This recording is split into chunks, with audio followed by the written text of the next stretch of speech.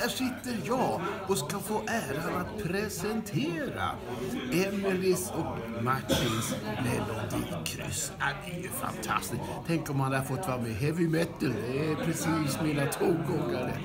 Nåja, jo, eh, inte nog med att jag ska säga ett stort grattis. Jag hoppas naturligtvis att ni får en, en en stund med det här krysset.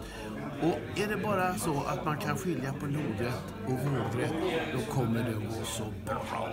Kör hårt nu, grattis och ha det så bra. Så hörs vi på lördag kanske va?